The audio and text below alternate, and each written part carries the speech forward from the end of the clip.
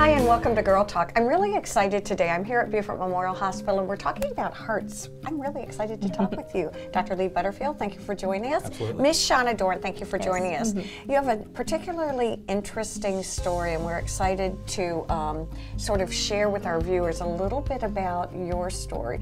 You had a heart attack. I'm just going to kind of be a spoiler here. Mm-hmm. And what we really want to do is talk a little bit about your story and a heart attack, and then how heart attacks affect women symptomatically and what we can do. Right. So I'm going to kind of lead off with you. Okay. Um, well, I mean, I work at Beaufort Memorial. Um, I'm um, one of the vice presidents, and I'm over quality. And before that, I'm a nurse by trade. And um, I also um, worked on starting the program we have here at the hospital um, for coronary intervention. Right. And the irony did not Yes. escape me. Yes, right, yes. exactly. Uh-huh. And um, you know, this summer in June, I was in my office and you know doing you know my work, Mm-hmm. and I went to stand up, and I had this overwhelming. Uh, my arms felt heavy. Um, I felt lightheaded. I um, didn't have any chest pain.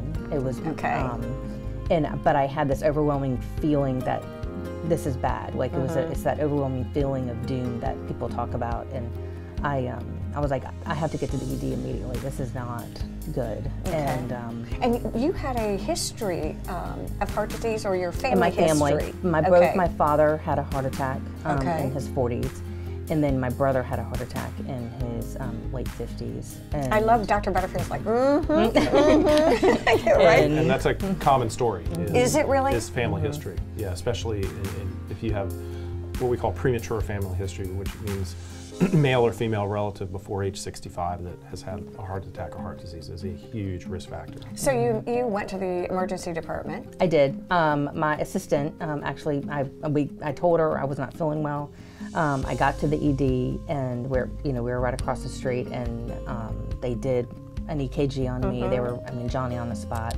Um, but everything was kind of nondescript at that point. I had gotten there really quickly, and my labs were negative, Okay. and but they knew something was wrong, and, Okay. and they thought that I was possibly having an aortic dissection because of my symptoms. I had both um, I had the kind of a lump in my throat. Both my arms were heavy, tingling. Um, again, no chest pain, which Okay. you know I knew as you know someone in the field that that a lot of women don't have that. That's what you. and um, and so, but I you know, and I started to just and I felt a little nausea. So they done a they did a um, a, a protocol where they check to make sure that you don't have any dissection in your aorta. aorta. So Aorta, it sent me to um, have a CT done. And So was- long story short, you had a heart attack. I did. I ended up having a heart attack, and so it was. Uh, it was kind of you know when I came back in, they did another EKG, and it, it I was evolving. I was what they call an evolving heart attack, where you, Boy, you were lucky, weren't you? progressively start your symptoms um, and progress. And so I ended up going to the cath lab. They got my um,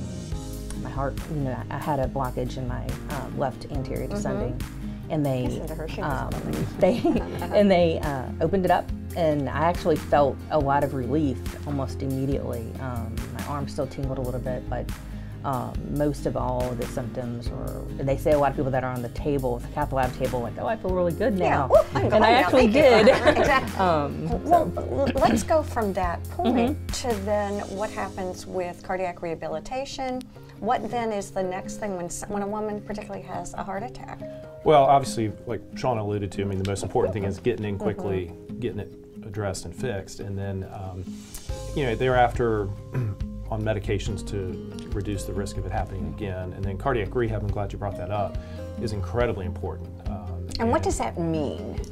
Do you want to tell? Yeah, sure. Yeah. Um, I went to LifeFit, and they have a great program there, and I was very familiar with it, being you know one of the people that you know in the program. I was like, okay, this is going to be awesome, and so it actually was. I felt um, it was hard at first because you're tired, and um, it's um, 36 sessions. Okay, and, so what does it do? What, what is a heart They well, they put you on a monitor. So Okay. your monitor, they do your blood pressure, um, they do your oxygen saturation, they do your heart rate, and you're monitored the whole time. And you do cardiovascular exercise like on a bike or running or walking, um, and then you build up to like doing weight training. Okay. Um, but you're monitored. The Is it also time. nutrition?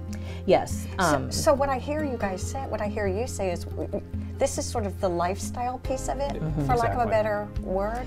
Right, and they, you know, they say it's, you know, it takes what 90 days to start a habit. So it's kind of that. It's three months of, of this rehab, and so you, um, I'm on a Mediterranean diet, and Okay.